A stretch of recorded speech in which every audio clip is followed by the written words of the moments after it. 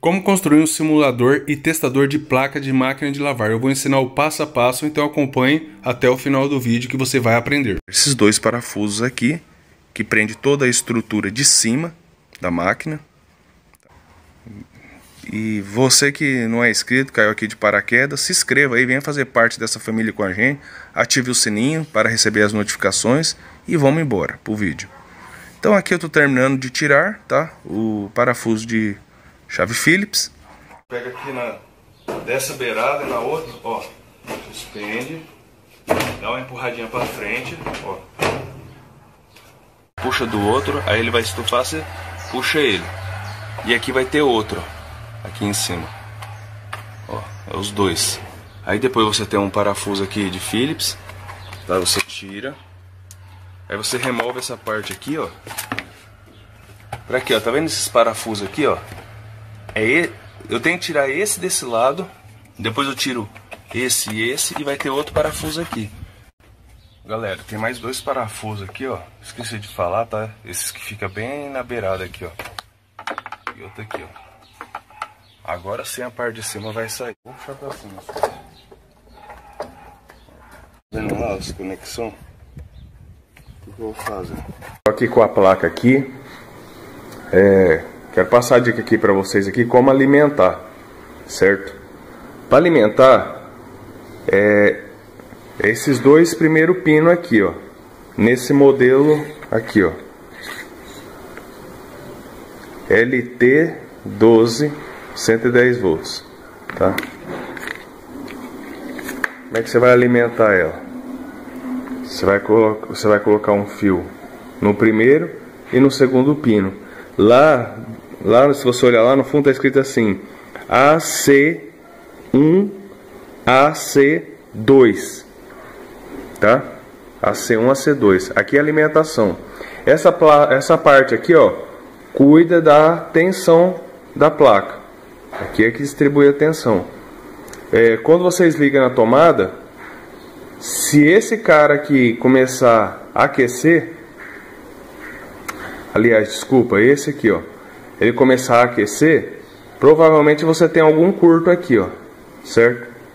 Esse aqui é um regulador, eu já vi muitos amigos aí pedir para estar tá trocando ele, um regulador de 5 volts, só que presta atenção, esse regulador é de 7905, tá?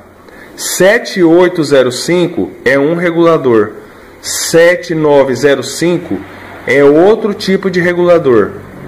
O 79 representa energia negativa, tá? Como que eu vou saber se essa placa tá boa ou não? Primeiro eu fiz os testes aqui, certo? Aqui nessa parte aqui, ó, é, se você olhar aqui, tem um pino aqui que tá é, menos 5 e o comum, que é esses dois primeiros aqui, ó. Esses dois primeiros aqui. Menos 5, comum, certo? Menos 5 comum. Então o que, que você tem que fazer? Você tem que vir com o multímetro aqui, ó, na escala de, de corrente contínua, tá? Eu vou, vou ligar ela aqui na tomada, só um momento. Tá aí, galera, coloquei os pinos aqui, tá? Vou ligar o multímetro. E olha lá, ó, menos 5 volts, tá? Então o que, que isso daí mostra pra mim? Que a parte da fonte do power on está boa. Porém, então, a hipótese do curto ser aqui na fonte já está eliminada. Então, nós vamos caçar em outro lugar. Então, isso é para a gente ter uma noção que a máquina liga, entendeu? Então, pessoal, isso aqui é meu simulador. Tá? Em vez de queimar uma bomba, só acende um LED aí. Se caso vocês quiserem ter um desse, né? Se vocês quiserem ficar fazendo manutenção, é muito mais fácil e visível aí de você solucionar muitos defeitos. Eu vou estar tá passando passo a passo aí como construir um desse. Vou mostrar tudo o esquema elétrico aqui. Então pegue sua caneta e o seu papel e vamos notar. Se sua rede aí for é, 220 volts, você vai ter que mudar o resistor, tá? Coloca um aí de 47K por 2 watts, tá? Todo seria bom que fosse 2 watts, mas aqui na minha cidade eu não achei de 2 watts. A minha rede aqui é 110, então eu coloquei um de 22K, tá? De 1 oitavo. Não é muito bom 1 oitavo, mas pelo menos aqui pra mim não, eu não tive problema algum com isso. Então aqui, ó. é, resistor, diodo, LED, certo? Aqui já foi feito um circuito já. Quem conhece um pouquinho de eletrônica sabe o que eu estou falando, mas eu vou tentar explicar para vocês que às vezes conhecem pouco, também vocês conseguem fazer isso aí. Ó, o esquema é esse, aqui está a placa, ó. aqui é a placa de interface, placa principal, é, a entrada de energia, esses dois pinos primeiro aqui, certo? É, eu não simulei a tampa, tá? Porque eu não achei necessário colocar um, um interruptor aqui, porque aí você corta e não passa alimentação para esses outros aqui e não funciona nada.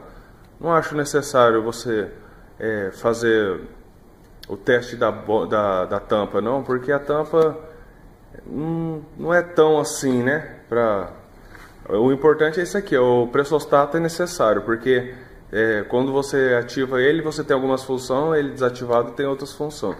É, isso aqui são os LEDs, tá? Eu não montei aqui, coloquei tudo aqui, mas aqui vai o, os resistores de 22K, diodo, depois o LED, tá? Aí, ó, o esquema é esse aqui, galera. Não tem como, não tem como errar. Eu procurei fazer aqui, ó. Ó. Olha lá, ó. Vocês podem ver que tá numerado, ó. 1, 2, 3, 4. É 1, 1 é essa lâmpada aqui, ó. 1, 2, 3, 4 e 5, certo? Para sair aqui na sequência.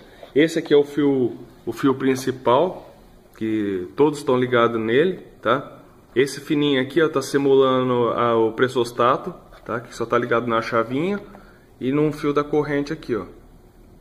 Tá num fio da corrente e o outro na chavinha. O retorno dele vem aqui, ó, no primeiro aqui, ó.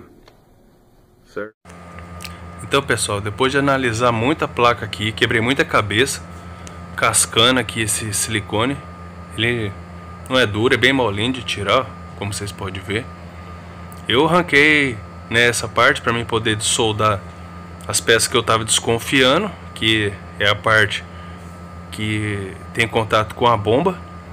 E aí eu cheguei na conclusão aqui, medindo, né, bastante aqui os componentes aqui por perto da parte da eletrobomba, que essa região aqui está tudo funcionando bem. Tá, eu olhei se tinha o menos 5 aqui, que é do standby, e como vocês viram no teste aí, estava certo, porém né, a nossa bomba aqui em curto. Já ligava a máquina, já ficava jogando a água fora. Então aí eu testando aqui, cheguei na conclusão, pessoal, que aqui, ó, eu achei que era esse transistor, mas era esses dois capacitores aqui que eu substituí, que eles estavam aquecendo muito. Arranquei eles aqui por baixo, soldei aqui. E eu fui lá na loja, né, e comprei o, tirei o mesmo que estava, levei na eletrônica e eles me deram com o mesmo valor. E agora vamos testar para ver se deu certo, né? Pessoal, se vocês perceberem que vocês têm dificuldade para recuperar uma placa dessa, tá? Fazer o simulador, tudo. É, isso aqui que eu estou mostrando é para facilitar e para você não ter tanto gasto, tá? Mas se você percebeu aí que sua bomba está em curto, você pode adquirir uma placa nova dessa aí. Tá? Pode estar tá comprando uma placa. Eu estou fazendo aqui esse simulador e mostrando aqui para vocês aqui como eu descobri o defeito, tá? Não foi fácil, eu fiquei bastante horas aqui, mas é para ajudar aí vocês aí que de repente não está podendo gastar. Então vamos testar isso aqui, né? E vamos ver se deu certo. Então aqui está o atuador e a bomba, né? Deu um giro na máquina que é, é e aqui agora abriu a válvula principal. E aqui eu fiz o simulador do, do pressostato, tá? Coloquei uma chavinha aqui do lado. Agora eu vou simular que já encheu, ó. ó encheu. Agora ela começa a bater, ó. Para um lado, para o outro. Um lado, para o outro. Tá vendo? Isso aqui é muito bacana, gente. É uma mão na roda. Olha aí. Agora eu vou colocar. Agora aqui eu tô simulando Olha o que, que eu fiz aqui do lado. Vou mostrar aqui pra vocês. Deixa eu focar aqui. Essa câmera é ruim. Ó, então. Aqui eu coloquei aqui, ó, pressostato, certo? É, zero é porque não tem água, um é porque tem água. Aí eu fiz um desenho aqui, ó, só para ilustrar, né? Vazio, cheio, só para ajudar só. É o meu, meu jeito para mim mesmo entender. Ó, é, ZC-AC1.